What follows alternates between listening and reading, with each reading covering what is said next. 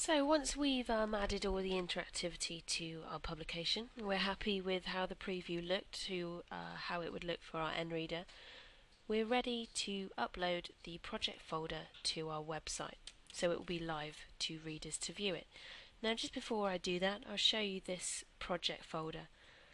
So as you can see everything from the background, the large, medium and small JPEGs, all the images and every single page of our PDF is also got a corresponding HTML page for the keyword searching.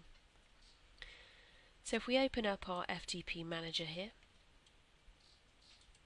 as we can see on the left hand side is our computer, on the right hand side is our website.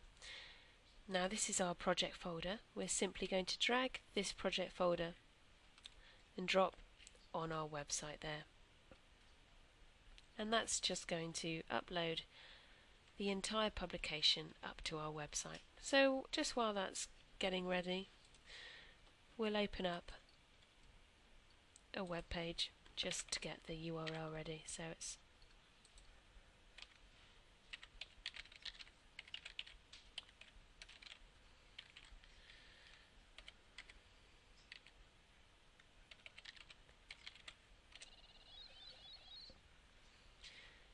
And there we go. The publication is live on our website. So we simply click in and this is the first time that the publication is opening. So as we see, your logo will be placed here. And now we're viewing the publication exactly how our reader would.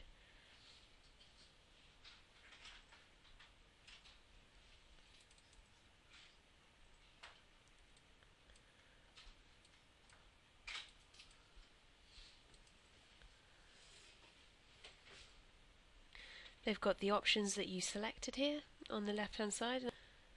So there's our publication already live on our website. Now if you do have any questions at all please do get in touch with us. Um, our website is www.3dissue.com or you can email sales at 3dissue.com. I hope it's been useful and we look forward to hearing from you soon. Thanks.